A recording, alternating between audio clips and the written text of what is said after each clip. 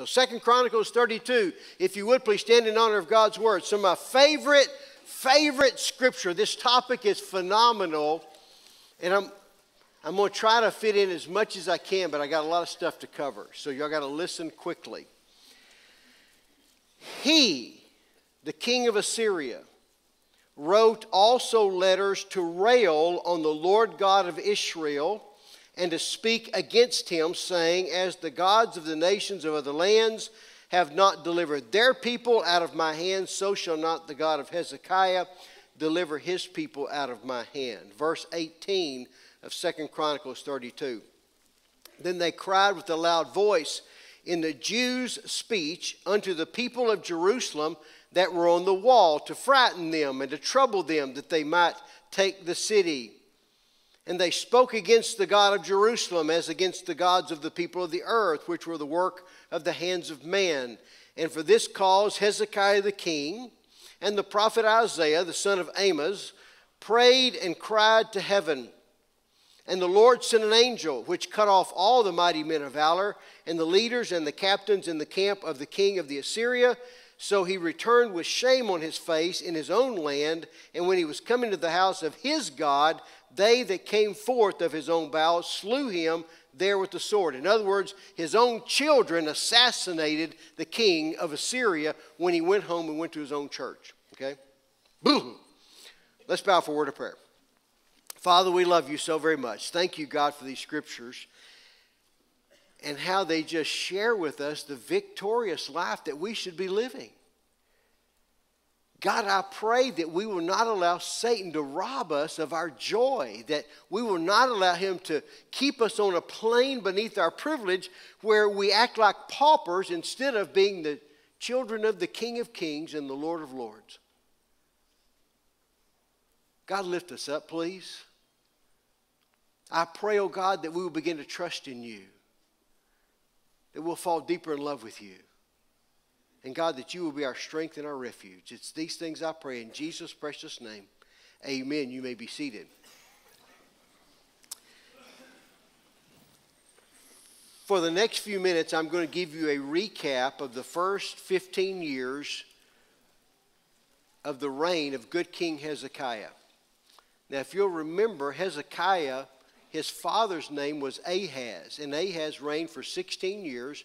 Ahaz was a very, very bad king. Um, for 16 years, he, he introduced idolatry all throughout the land. They set up altars to idols. In fact, in the temple itself, they moved the altar of burnt offering away and put in a fake from Damascus that, that was just an abomination they turned the temple of God into a garbage heap. They stopped all the ministry inside the house of God and eventually just shut the doors and had Sabbath no more.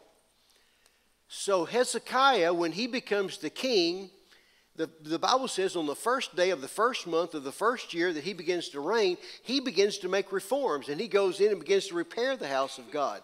And he gathers around him some of the Levitical priesthood and he says, It's time to clean up the house of God.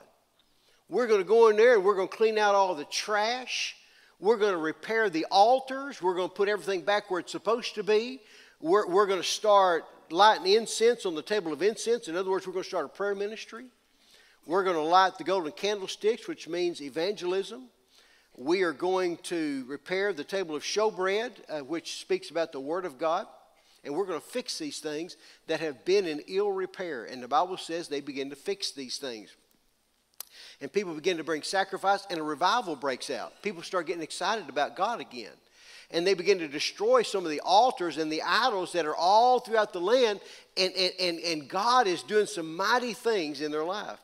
So it, it gets to going so well that uh, at the time of Passover, they send a letter up to Israel, the northern kingdom, and say, Listen, we're getting excited about Jesus, And, and we want y'all to come down here and celebrate the Passover with us. Now, at first, the Bible says that the Israelites begin to mock them of Judah, but then they say, you know, that's a pretty good idea. We're going to go down there. And they go down there, and literally thousands upon thousands of people join them to celebrate the Passover. And we know what the Passover is that's a picture of Jesus because Jesus is the fulfillment of the Passover lamb. Amen? Great things, exciting things. The Bible goes on to say that even when they're having this spiritual renewal, that throughout the land, Bible studies are getting started again. Uh, people begin to pray again when they'd stopped. They observe the Sabbath day as a day of worship. And then once they get the basics straightened out in their life, then God begins to give them victories in spiritual warfare. In fact, in 2 Kings 18 8, the Bible says he smote the Philistines, that, that ancient enemy of them. That, that the Bible says under Ahaz, the Philistines had beaten up on the people of Judah, but now under Hezekiah, they're winning the war. And they, and they smote the Philistines. The Bible also says that they tell the king of Assyria, We're not giving you nothing else. We're not paying you any tribute. We're not giving you any taxes. We're not under you. We're not going to do what you tell us to do. We're free as far as that's concerned. Thank you very much. Go mind your own business. And they have these great victories, okay? Now, I want you to picture this because the Bible says that the Old Testament temple of God is a picture of a New Testament believer. In other words, you are the New Testament temple of God so that when we see Hezekiah cleaning out the trash out of the temple, that's a picture of a New Testament believer repenting of sins in their life. Of coming to the altar and saying, You know, God, I've been watching something on TV that I wouldn't watch if you were in the room with me, and I'm going to stop.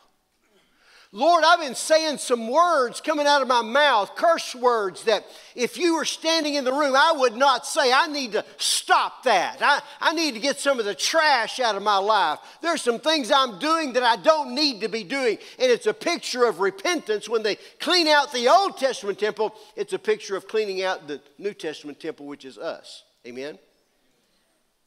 And it's like saying, you know, I used to have a Bible study, but I didn't have one. I, I'm going to start studying the Bible. I'm going to start praying. I'm going, I'm to get me a prayer journal. And when somebody says, Would you pray for me? I'm, I'm going to write their name down and I'm not going to just say it, but I'm going to actually do it. And I'm going to start praying for the lost. I'm going to start praying for my Sunday school teachers. And I'm going to start praying for our staff and, and, and, for those people I work with. And, and I'm going to start praying. I know it's the right thing to do. I've talked about it long enough. It's time to start doing it. And you start doing it. And when you do that, when you do that and start getting serious about your faith in Christ, then what you've done is you've raised the battle flag against the devil. Amen? So it's almost like you went in and you just poked him in the eye real good. But you know as well as I do, that's just round one. The fight's not over. The devil doesn't take a vacation, does he? No, no, no. You got 15 rounds to fight. And as you look over on the other side, he's not over crying. Instead, he's getting mad. And you know the worst is yet to come. You just got through round one and round two of these little bitty fights, but the big one's coming. And, and, and for Hezekiah, he knew that he was not done with Assyria because the Bible says in the fourth year of his reign, suddenly the Assyrian king, who is Shalmaneser, comes down and attacks Israel, his northern neighbor. The Bible says that they lay siege around the city of Samaria for three years. It's a horrible siege. And finally, they take the city and they take the country, and there is no more Israel after that. It's gone. Assyria is now on the northern border of Judah. Woo! Can you imagine that if Russia were to attack Mexico and were to occupy Mexico and the Russian army was stationed along the southern border of the United States of America? That's the picture that it has here. And you're going, you know, a fight's about to come. A fight's about to come. And you need to think about that in spiritual matters. You, you may have done good on the first couple of battles against the devil, but I've got news for you. He's not done with you yet. So if you run up the battle flag against him, there's a bigger fight coming. Amen? Then the Bible comes up and says, in the 14th year of Hezekiah, that now the leader of the Assyrians is a guy by the name of, get this, Sennacherib. That's how you say it. I love saying that. I was going to name my third child Sennacherib, but God didn't give me that one. The king of Assyria attacks the border cities of Judah. It's like if the Russians were down in Mexico and suddenly they begin to attack Brownsville and Laredo and El Paso and San Diego. Whoa. Man, it'd be something, wouldn't it? So we've got to ask ourselves, okay, here's, here's the, the first outline for the sermon. Hezekiah begins to compromise with the enemy. So when they come and attack those border cities up on his northern border, the Bible says he writes to them, and this is what he says. He said uh, in 2 Kings 18 14, he sent to the king of Assyria to Lachish, saying, I have offended you. Oh, please return from me, leave me alone. That which thou puttest on me I will bear. And the king of Assyria appointed unto Hezekiah, king of Judah, 300 talents of silver and 30 talents of gold.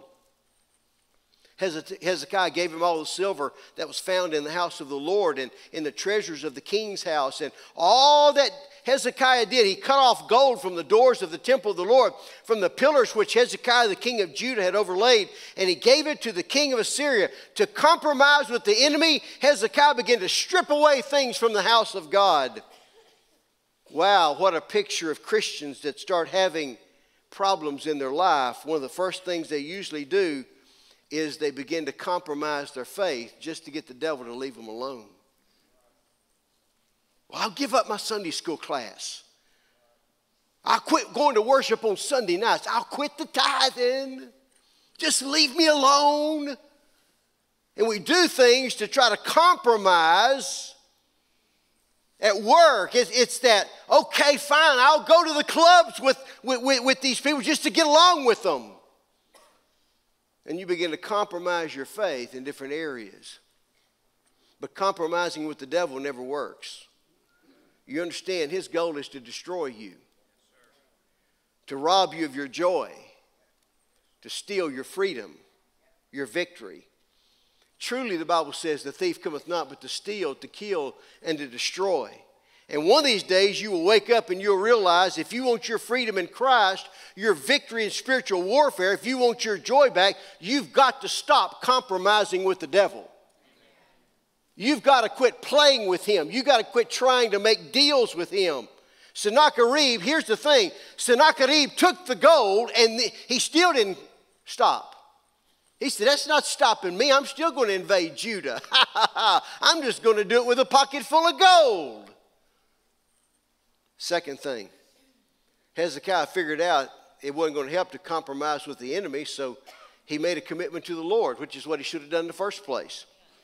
So the Assyrian army shows up and they lay siege to the city of Jerusalem, encircle it, cut it off. They can't get in or out, and they begin psychological warfare the Assyrians were wonderful at this. And what they would do is they would get on a loudspeaker and they would aim it at the wall, and they did not speak in Assyrian, they spoke in the Jewish language, is what the Bible says.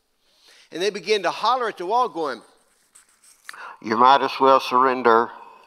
If you surrender, we will be nice to you. We will be your friend. If you do not surrender, we will kill you. We will torture you. Oh, your God cannot save you. No other gods have saved anyone else. Your God cannot save you. You have a pitiful God. Therefore, you should surrender. Your walls are not strong. Your army's not strong. Surrender. And they would take captives and they would pull them out in front and go, This is what we will do to you if you don't surrender. And they would start cutting their heads off and peeling the skin off of them and torturing them. And the people on the wall are going, Ah! and it was psychological warfare. And the Bible goes so far as to say that what they did was they got a letter and, and they, they sent it to Hezekiah, and in the letter it said, If you don't surrender, we will destroy your city, just like we did Samaria. Your God cannot save you. Our God is more powerful than your God. You might as well give up. And, and, and, Hezekiah got the letter, and the Bible says he went to the preacher Isaiah, and they said, What do we all do? So we to pray about it. So they went to the house of God. They laid the letter on the altar, and they laid it right there, and they said, God, do you hear what he's saying about you? I wouldn't take it if I were you. He said he can whoop you, God. I don't think he can. Why don't you show me how bad you're going to beat that king of Assyria? They laid it at the altar and they prayed before Holy God and they committed themselves to God by saying, We trust you, we believe in you, and all our faith and hope are in you. Now, here's what I need you to do I need you to take your Bibles and I need you to turn over to Psalm 46.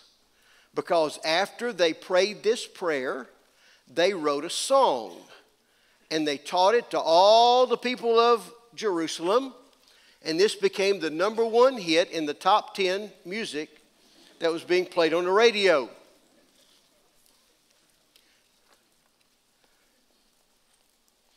And this song talks about the attitude of the city. So Psalm 46 begins by saying, To the chief musician for the sons of Korah, or the choir members, a song upon Alamoth. I'll explain that in a minute. God is our refuge and strength, a very present help in trouble. Therefore, we will not fear, though the earth be removed, though the mountains be carried into the midst of the sea. Psalm 46, verse 3 Though the waters thereof roar and be troubled, though the mountains shake with the swelling thereof, Selah. There is a river, the streams whereof shall make glad the city of God, the holy place of the tabernacles of the Most High. God is in the midst of her. He shall not be, she shall not be moved. God will help her, and that right early. The heathen raged, the kingdoms were moved. He uttered his voice, the earth melted. The Lord of hosts is with us. The God of Jacob is our refuge. Selah. Now, the chorus of this song is verse 7, and then I believe verse 11, which continues to repeat, The Lord of hosts is with us, the God of Jacob is our refuge, Selah. So, what they're doing is they are singing a song. Now, there are three great truths in this. Here are the great truths. First of all, they're saying, We trust in God. Our God is with us, He is here, He's going to help us. The Assyrians were hollering, The walls can't save you and your army's not strong enough. You don't have enough weapons to beat us. And the Jews reply, You're right.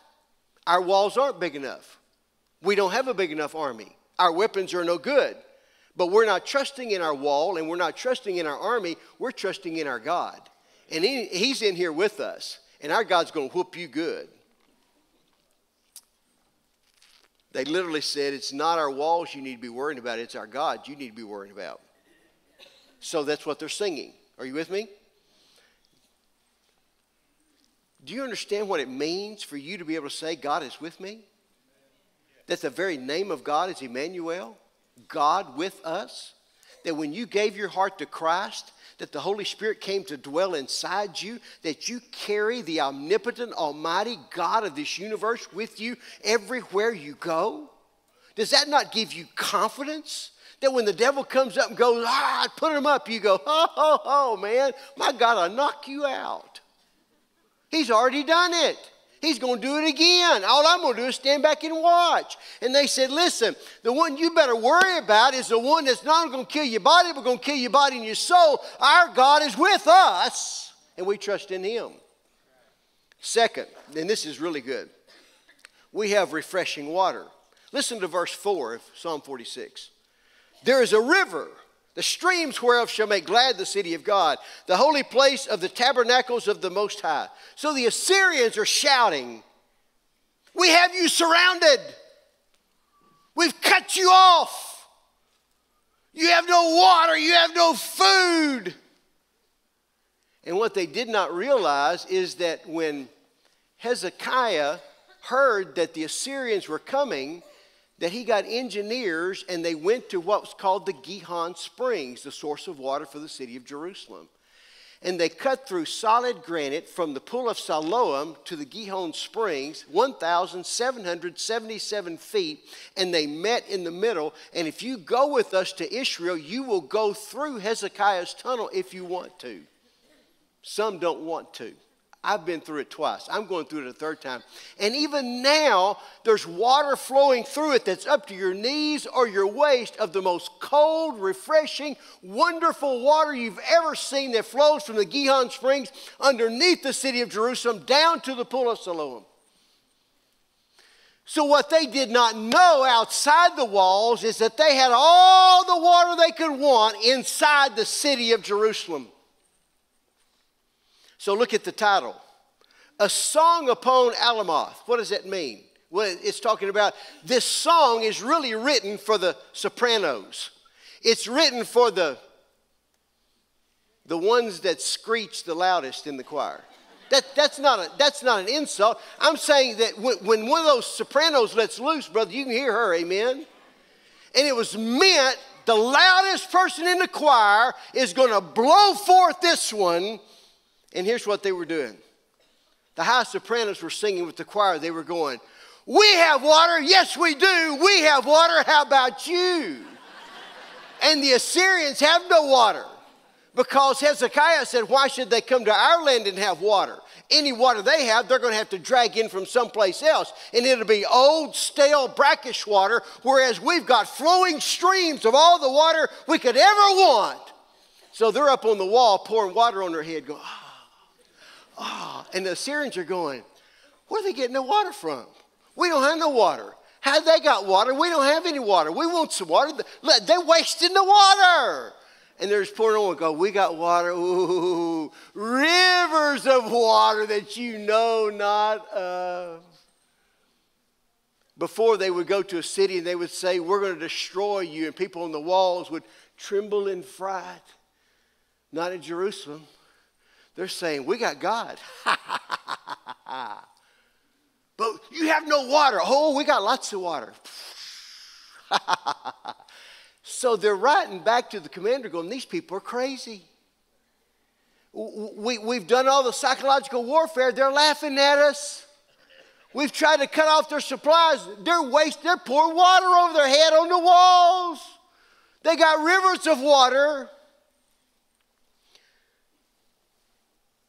But out of you should come rivers of living water that the world knows not of.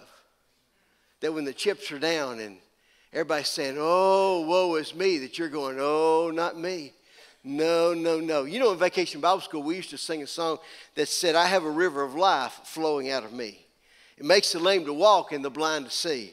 Opens prison's gates, it sets the captives free. I have a river of life flowing out of me. Spring up, O well, goose, goose, goose, goose, down in my soul. Spring up, O well, splish, splash, and make me whole.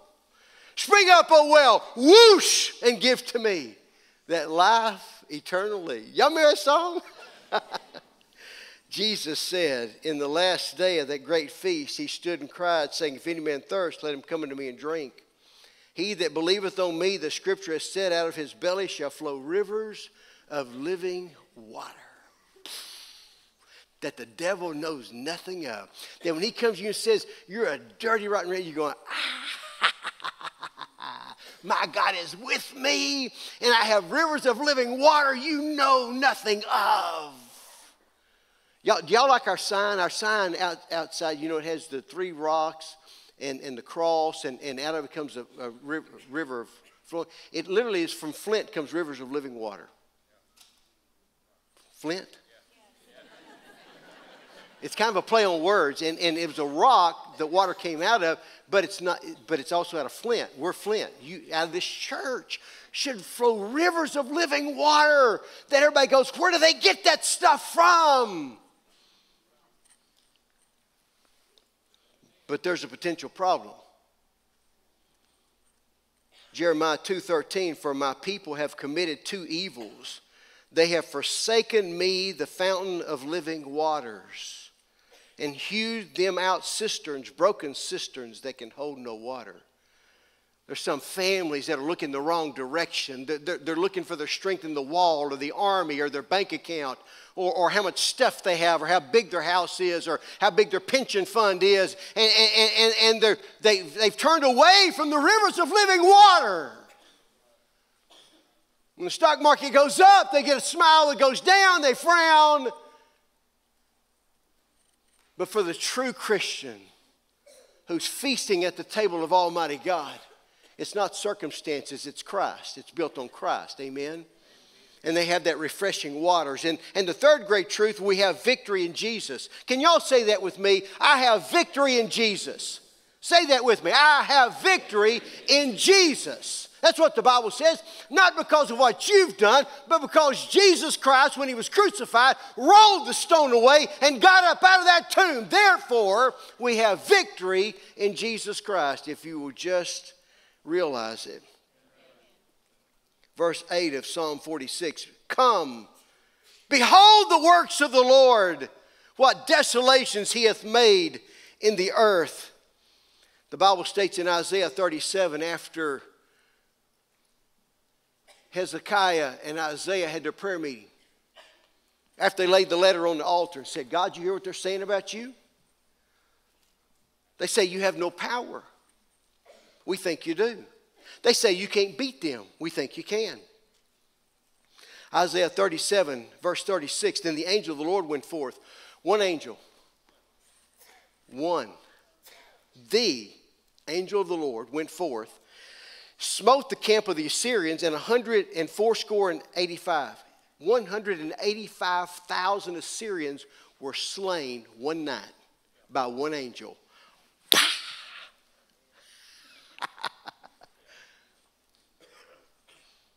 And they arose early in the morning, and behold, they were all dead corpses.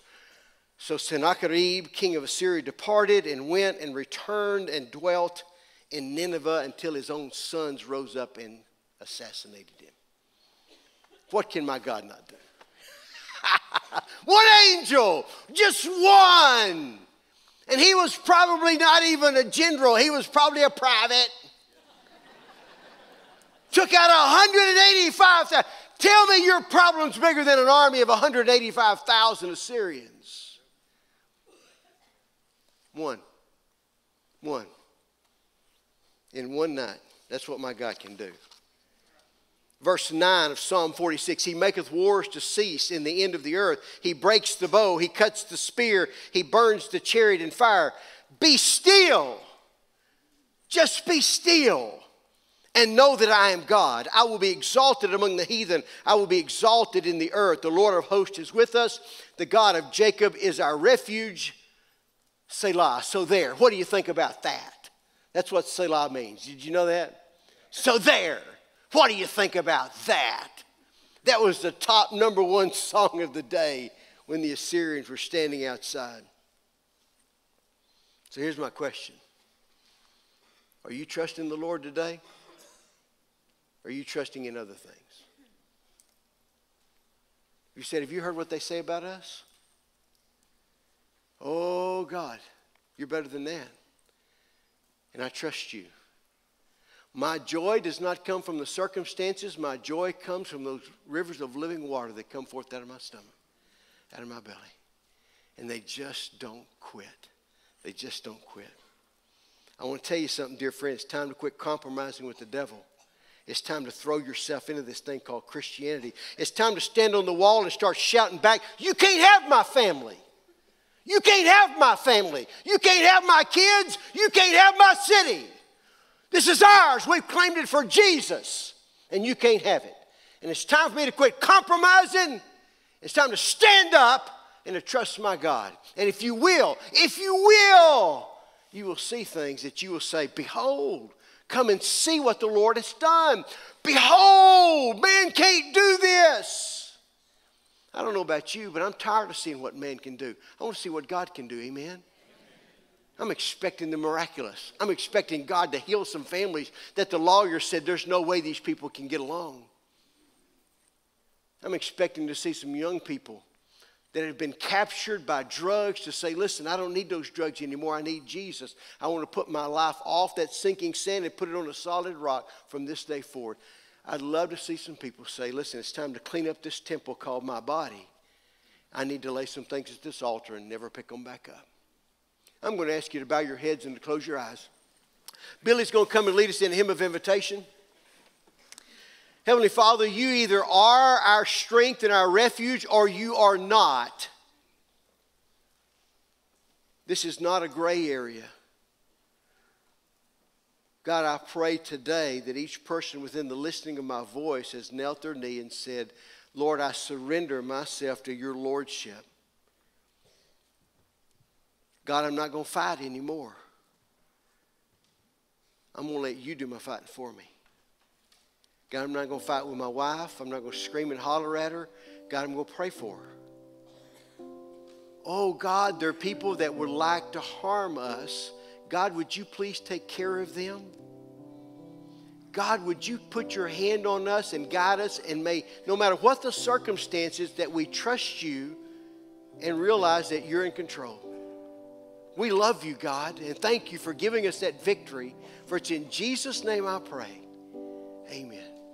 Guys, this morning we have a, a, time of decision. It's an opportunity for you to respond if God's spoken to your heart. You may be here this morning and say, You know, I am a Christian. I've given my heart to Jesus, but I've been compromising with the devil. And when I compromise, the things that are suffering are my prayer life, my evangelism, my witness, the things I've been doing for the Lord's house and church, and my family. And I'm tired of it. I'm tired of it. Isn't it come time to come to the altar and just kneel down and say, God, I'm ready to recommit my life to you? Nobody's going to bother you. Nobody's going to get you to fill out little cards. It's just a great place to get some things right with God this morning. Maybe you're here and you say, Brother Sam, we've been looking for a church home like this. We really want to come and get involved in the ministry of Flint Baptist Church. We'll have decision counselors down here at the front. All you've got to do is come to one of them and say, listen, God's leading us to become a member of this church. They'll show you what to do. But the most important decision, listen to me.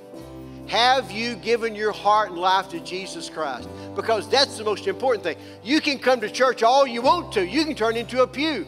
But until you've given your heart to Jesus, if you were to die, you would not spend eternity in heaven with God. Do you know Jesus? He'll change your life, He'll change your attitude, change your family. I'd love to introduce you to my Jesus. So I'm going to ask you to stand, please. Billy's going to lead us in hymn of invitation. Prayer warriors, I need you to be praying all over this church building as we begin to sing. Would you come? Would you come as we sing? You come.